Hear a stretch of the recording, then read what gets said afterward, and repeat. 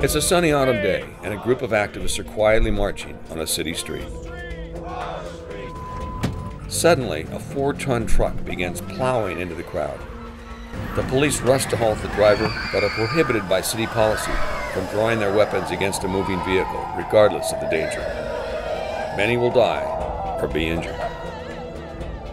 In Nice, France, 86 people died before police shot and killed the terrorist driver.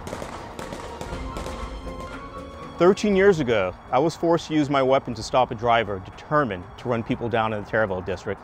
Lives were saved. With this prohibited weapons policy, we can't stop senseless slaughter.